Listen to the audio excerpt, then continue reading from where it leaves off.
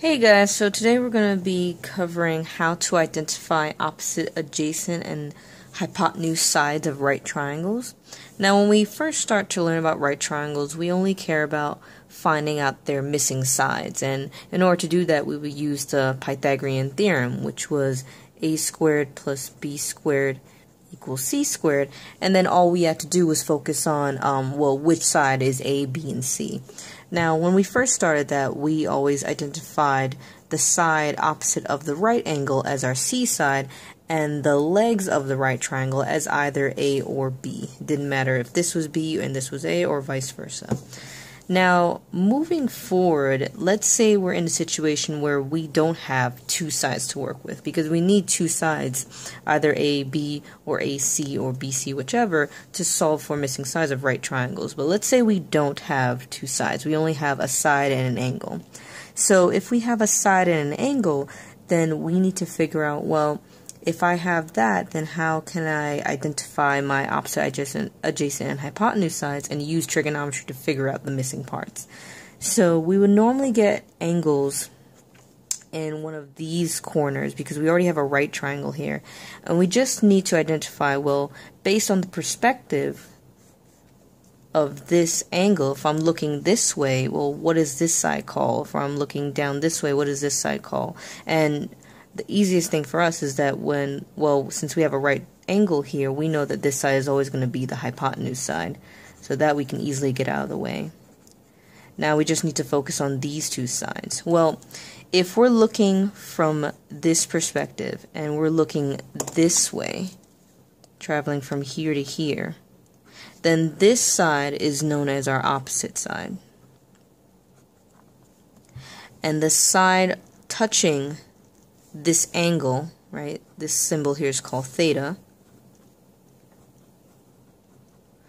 If we're looking at this side touching this angle, this is known as our adjacent side. remember that adjacent means something next to it, so that vocabulary will make sense in this case.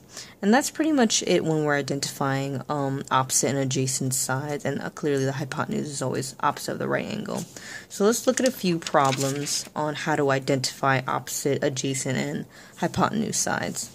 So if we're looking at the first problem, here our angle, our theta, is in this position, right? So again, we know opposite of our right angle is the hypotenuse, always. And if we draw our, our arrow from here, from this angle theta to this side, this is our opposite side. And we know any side touching the theta that's not the hypotenuse must be the adjacent side. Okay, and that was it for problem one.